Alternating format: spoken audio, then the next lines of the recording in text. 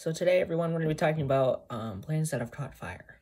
Number one, South African Airways Flight 295 in 1987. So on November 27th, 1987, South African Airways Flight 295 was heading for South Africa, well, Johannesburg, South Africa, to be exact.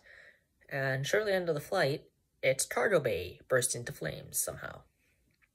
The material aboard is unknown to the investigators and there's 159 passengers and crew aboard. The crew has to save its passengers, and that attempt failed, because it later crashed into the Indian Ocean, killing everyone aboard.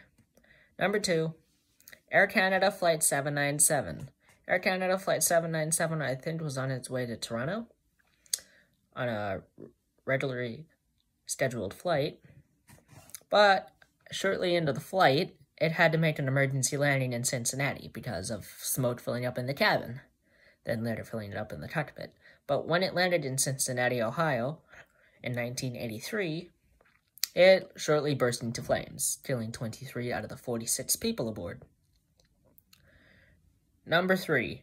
ValueJet Flight 592 in 1996. Shortly after leaving Miami, ValueJet Flight 592, with 110 people aboard, burst into flames then crashing into the Florida Everglades, killing 110 people.